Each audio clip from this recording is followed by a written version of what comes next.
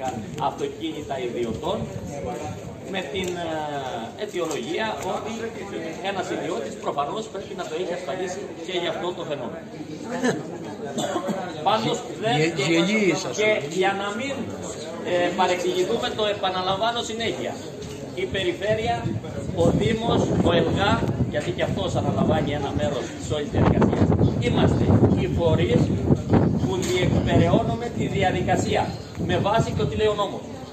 Αν ο νόμος, εγώ, εμείς και εγώ προσωπικά είμαστε μαζί σας. Μακάρι να ήταν τόσο ευέλικτες διαδικασίες να αποζημιωθεί το καθένας στα λεφτά τα οποία ε, έχετε υποστεί ζημίες, γιατί ήμουν από την πρώτη στιγμή εδώ, όπως και στη Χερσόνησο και οι ζημίες είναι τεράστιες και ανυπολόγιστες.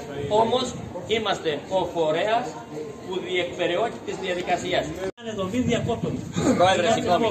Ε, ο κύριος ρώτησε κάτι να απαντήσουμε. Λέω, η εμπειρία μου σε σχέση με τη Χερσόνησο και με το Δήμο Μινώα.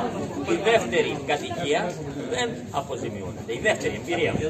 Υπάρχει νόμος. Δεν είναι ότι δεν θέλει ο Δήμος ή δεν θέλει ο Πρόεδρος ή δεν θέλω εγώ. Ή δεν... Ο νόμος λέει ότι Δεύτερη αποζημιώνεται κατοικία. η πρώτη Είναι κατοικία. δυνατόν να έχει δεύτερη κατοικία. Ε. Λοιπόν, Τα προϊόντα τα στόχ που είπαμε τα οποία είναι μειγμένα με λάστες, καλάμια κτλ. Δεύτερη κατοικία. Παρουσιάζουν τα τιμολόγια προφανώς. Όχι πότε. Γιατί να κάνουμε μια ερώτηση.